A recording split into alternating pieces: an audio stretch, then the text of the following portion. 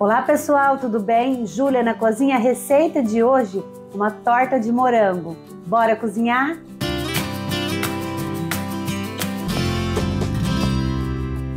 Bom, pessoal, para começar a nossa receita de hoje, a nossa torta de morango, nós vamos por etapa. Nós vamos começar fazendo a gelatina. Ela demora um pouquinho mais para ficar na consistência. Aqui eu já tenho água, já tá fervendo. E hoje eu vou utilizar uma gelatina sabor amora. Pode ser a gelatina de morango, de frutas vermelhas. Ó, aqui eu coloquei 200 ml de água para ferver. Agora é só dissolver e depois a gente vai acrescentar água gelada. O processo ser ainda mais rápido.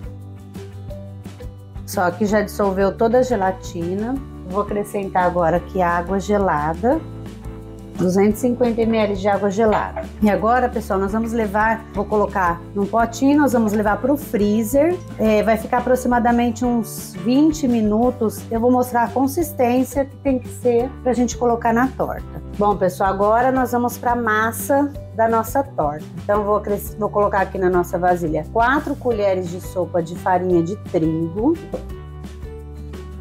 2 colheres de sopa de açúcar, uma colher de sopa de manteiga, pode ser manteiga ou margarina, uma gema, uma colher de sopa de leite e uma colher de chá bem rasinha de fermento em pó. Lembrando sempre que os ingredientes está na descrição do nosso vídeo e também no primeiro comentário fixado. Então qualquer dúvida que não deu para pegar aqui no vídeo é só conferir lá. Agora, pessoal, nós vamos mexer essa massa. Ó, eu tô fazendo, eu vou fazer uma torta pequena aqui, então são poucos ingredientes. Se você quiser uma torta maior, é só dobrar a quantidade de ingredientes. Agora aqui eu vou terminar com as mãos que a gente vai dar uma sovadinha, uma mexida nessa massa. Depois a gente vai espalhar ela na nossa assadeira.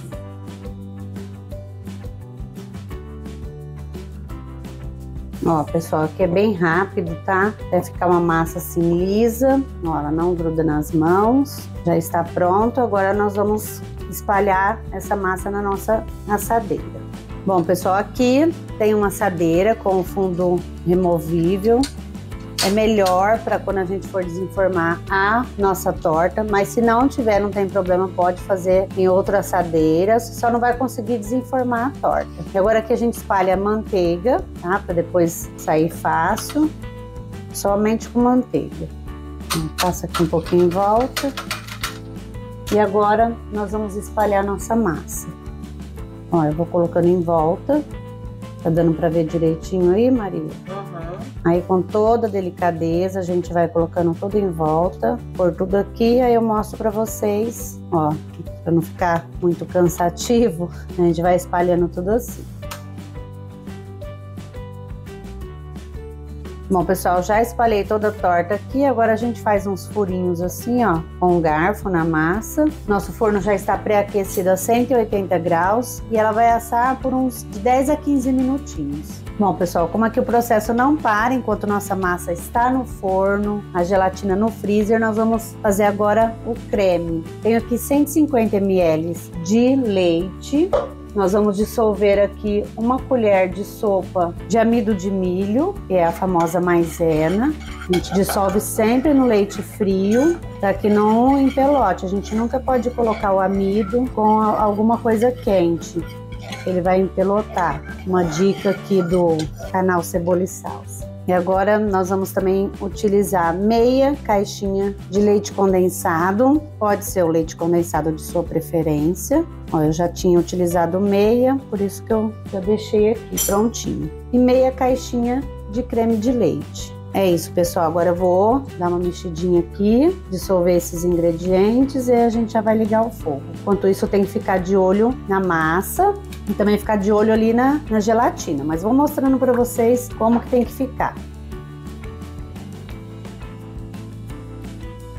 Ó, pessoal, aqui eu vou ficar mexendo, ele vai, como tem pouco creme, rapidinho ele vai esquentar, pode até caindo ali. E a gente não pode parar de mexer esse creme, ó, eu coloquei numa panela, peguei uma panela mais grossinha, esse creme para pegar embaixo é rapidinho, é facinho, então a gente não pode parar de mexer, que vai engrossar e queimar embaixo. Então, mais uma dica aqui.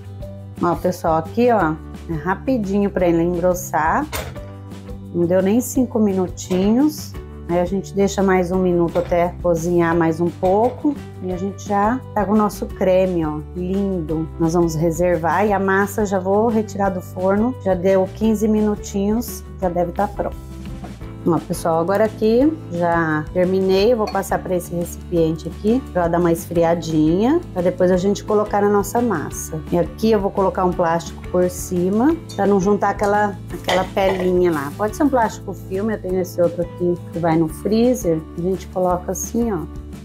Pode levar à geladeira, vou levar à geladeira até para ele gelar mais rápido, ou pode deixar em temperatura ambiente também. Ó, pessoal, a torta retirei do forno, 15 minutinhos no meu forno.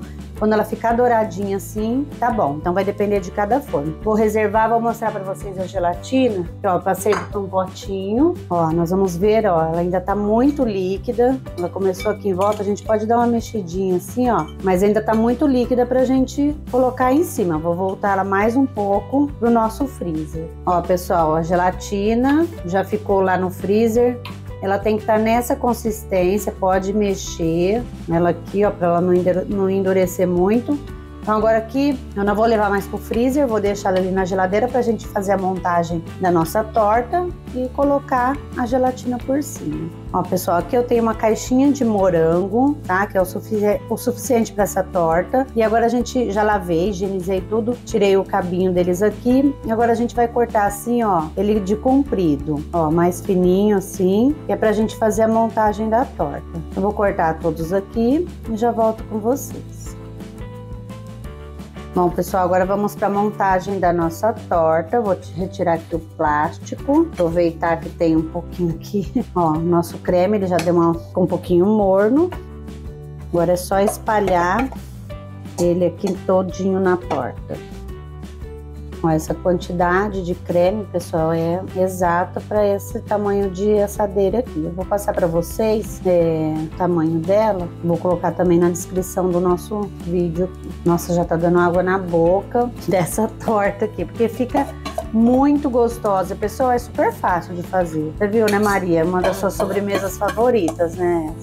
E bem fácil de fazer. Ó, a gente espalha bem aqui e agora já vem com os morangos, os morangos todos laminados. Aí a gente vai colocando assim, pessoal, ó. Fica bem bonitinha a nossa torta. Ó, se quiser cortar ali rodelinha também, não tem problema. Acho que assim ela fica com a estética melhor, mas fica a seu gosto. Vou espalhar todos aqui, já mostro para vocês.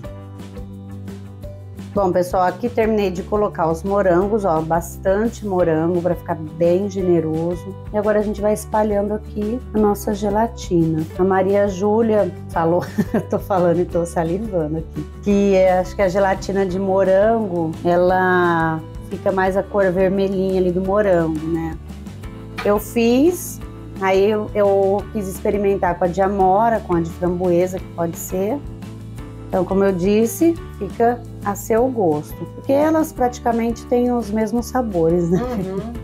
Então, olha, é tipo uma de frutas vermelhas aqui. Nossa, que delícia. Ó, pessoal, vou espalhar tudo. Não vai toda essa gelatina. É que a gente aproveita, já faz o pacotinho todo, depois é só colocar gelar e a gente consome essa gelatina também. Então, não vai tudo isso. Bom, pessoal, agora aqui já coloquei a gelatina por cima, ela dá até mais uma derretida, ó. Nós vamos levar para gelar por mais ou menos duas horas na geladeira ou uma hora no freezer. Bom, pessoal, nossa torta já gelou, ó. Eu tô finalizando ela aqui com castanhas. Pode ser castanha de caju, ó. Tá dando para ver aí, Maria? Uhum. Eu triturei essa aqui, são amêndoas que eu triturei. Então você pode colocar a de sua preferência. Pode também não pôr, se você não gostar. Porque eu acho que dá aquele charminho de torta, né, filha? Sim. Sem contar que fica uma delícia. Pessoal, agora eu vou desenformar ela para vocês verem. E eu vou partir essa torta. Eu vou tirar umas fotos também. Para desenformar mais fácil, a gente tem um copo aqui. Coloco assim. E a gente vai retirando assim nas laterais devagar. Ó, com todo cuidado.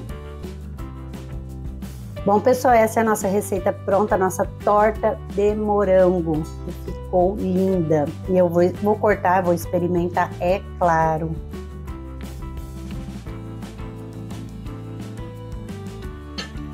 Hum, que delícia! Bom, pessoal, espero que vocês tenham gostado da nossa receita. Se você não for inscrito agora aqui no nosso canal, não esquece de se inscrever. Deixa o joinha pra gente também. Compartilha essa receita aqui e nos sigam nas redes sociais também. Um beijo, até a próxima. Olha que linda. Hum. Impossível parar de comer.